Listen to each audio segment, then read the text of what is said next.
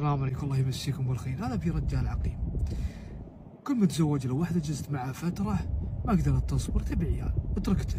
تزوج الثانية. اتركته. الثالثة اتركته. يوم من الأيام جاء خبر الموظف هذا أنه واحد الموظفين توفى. وعنده زوجة وعنده عيال صغار. اجتمعوا الموظفين قالوا إيش رأيكم؟ نبي واحد منا يكفل عيال خوينا اللي توفى. قال واحد منهم ابشر أنا اكفل عياله قال واحد من اللي موجودين قال يا فلان أنت ما أنت متزوج إيش رأيك تتزوج زوجة خوينا؟ تتزوجها وتكفل عيالها يصير أنت كسبت أجر الأيتام. قال والله ما عندي مانع بس أنا يا رجلي تراني عقيم. كل ما تزوجت لي واحدة هي. تصبر. يبون عيال. واخاف هذه ما ترضى.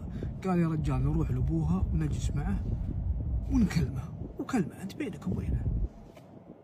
قال خلاص تم. يقولوا يروحون يكلمون الرجال.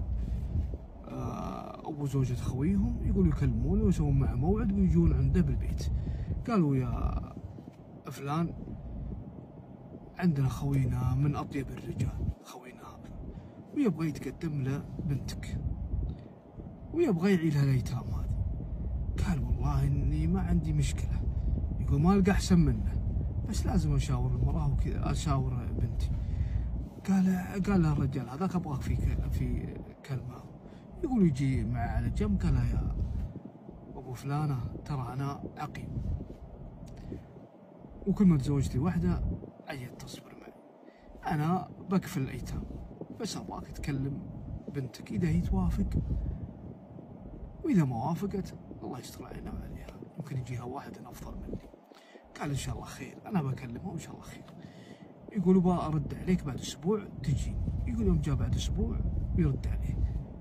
قال لها بنتي وافقت. وتعال حياك الله. يقول جاء وفرحوا الموظفين زملاء وكذا. وملكوا. يقول يوم تزوج ودخل عليها وكذا. يقول صار يعامل عيال خويه هذا الأيتام معاملة طيبة. يقول كانهم عياله. يقول هم جات عيال يعاملوا كأنهم عياله واي شيء يبونه يحتاجونه يوفر لهم. يقول يوم خذ له وقت يقول يجي خبر إن زوجته حامل. سبحان الله عقيم. سبحان الله الله كتب له الذرية.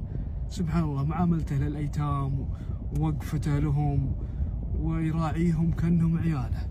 سبحان الله سبحان الله. سوى خير وربي جزاه بالذرية. وهذه قصتنا انتهت. وان شاء الله نالت على إعجاب الجميع. واستودعكم الله الذي لا تضيع ودائعه في حفظه